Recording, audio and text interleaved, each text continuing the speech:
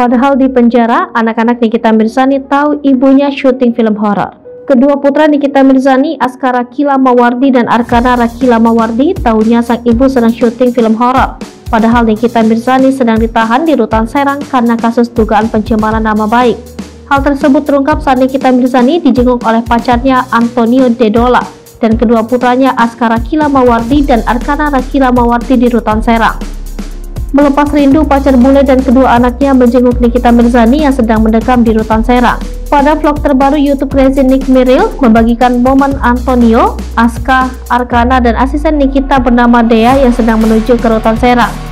Aska dan Arkana tak mengetahui bahwa Nikita ditahan di Rutan. Dea dan Antonio mengatakan ibunya itu sedang syuting film horor.